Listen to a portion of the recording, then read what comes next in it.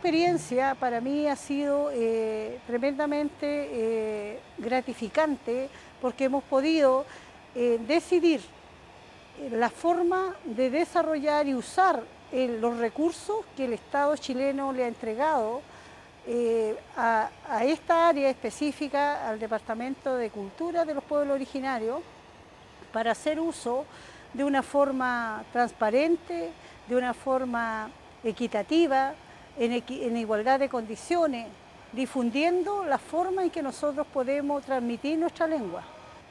Doy las gracias a esta universidad, doy las gracias por la oportunidad que nos dieron y en forma personal, las infinitas gracias por haberme considerado para poder hacer mi aporte y a poder cumplir. A lo mejor faltan muchas cosas, pero yo he tratado siempre de hacerlo lo mejor posible. Muchas gracias, Mari Mari Lamien, Mari Mari Chao. Allí Punchay y Mainaya Cachanqui.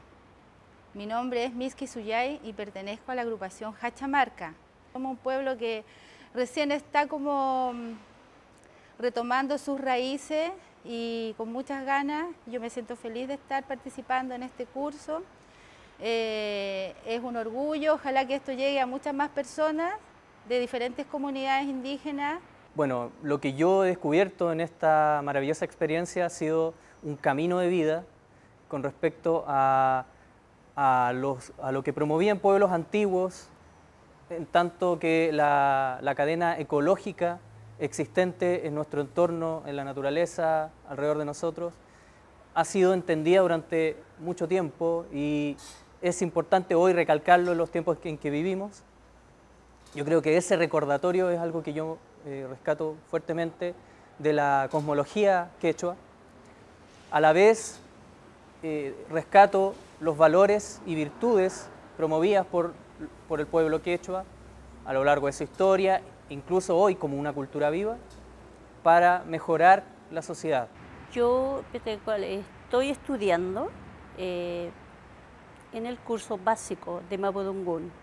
Estoy agradecida de la oportunidad que nos hayan dado la universidad, todas las personas que se han preocupado de nosotros, eh, para que nos proyectemos, para que sigamos eh, aprendiendo y conservando nuestra identidad.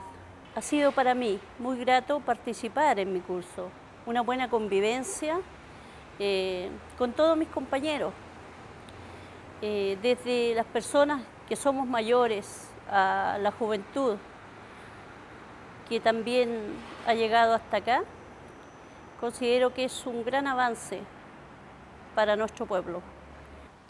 Agradezco esta oportunidad por esta oportunidad que nos, han brindado de aprender Mapudungún, eh, ya que me da el tiempo, bueno, se va perdiendo por la tecnología, y se van dejando atrás estas cosas.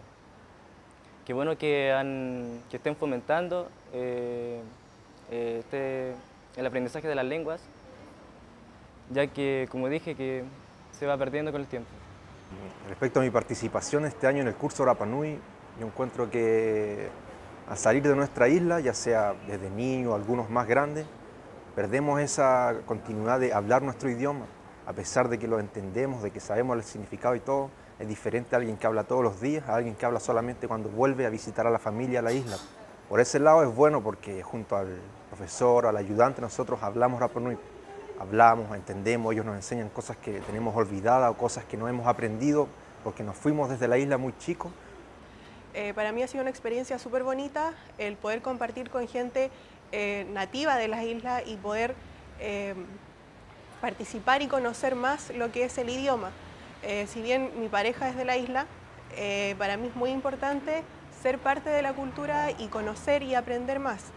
Eh, para mí el curso ha sido bien importante porque en general yo creo que cuando uno empieza a aprender un idioma, sobre todo en el caso del somos, no son cosas lineales, uno continuamente va aprendiendo y va sumando y va complementando los conocimientos que ha habido.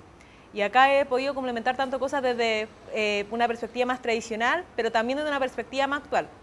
Creo que es importante destacar que las lenguas indígenas son lenguas actuales, son lenguas vivas, no son lenguas del pasado, sino que pertenecen a nuestro presente y que tenemos, seguir, que, tenemos que continuar luchando para que ellas se continúen hablando. Para mí hoy día ha sido un gran privilegio de recoger y rescatar nuestro idioma, que se ha ido perdiendo en el tiempo. Y me alegro mucho de que las personas, mis peñes, los mayores que están acá en Santiago, se han podido organizar por intermedio de las universidades que están interesados en estos temas, de sacar adelante esto. Porque para nuestros pueblos es muy necesario tener, mantener viva nuestra, nuestra lengua. Em, nos agrada, nos llena de felicidad el hecho de poder compartir con otras asociaciones, eh, conocer a los aymaras que trabajan aquí en Santiago y representarlos también en las mesas regionales eh, para recuperar nuestro centro Incas Aymara, Incas Quechua, para poder devolverle la espiritualidad a, nuestros hermanos de Santiago. Eh, bueno, estoy muy agradecida por la entrega de, los dos, de, tomar este curso eh, de manera más significativa, práctica y, también tradicional dentro, dentro del contexto en que, en que se ha dado esto.